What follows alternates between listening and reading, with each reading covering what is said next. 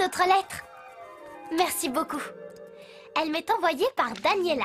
Elle écrit Chère princesse Sophia, mes parents m'ont dit que j'allais bientôt avoir une petite sœur. J'espère que je l'aimerai. Est-ce que vous aimez être sœur, Ambre Ça, c'est une excellente question. Chère Daniela, tu as beaucoup de chance parce qu'avoir une sœur, c'est ce qu'il y a de mieux.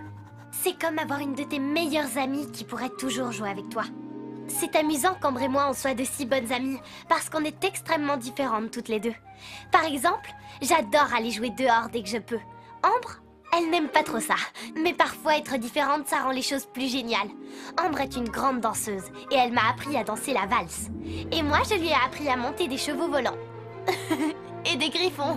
L'une des aventures les plus extraordinaires de ma vie que j'ai vécue avec Ambre, c'est quand on a appris à diriger des tapis volants à Tangou. Aucune de nous n'est prête à oublier ce jour-là. Ni cette coiffure. Une autre fois, on a accidentellement changé James en bébé. Trop drôle.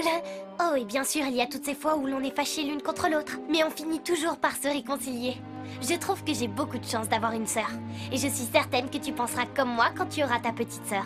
J'ai trouvé ça très amusant de répondre à ta question, Daniela. Merci beaucoup pour cette lettre. Tendresse, Princesse Sophia. Pouvez-vous donner ça à Daniela, s'il vous plaît? Merci beaucoup. Et rapportez-moi encore plus de lettres.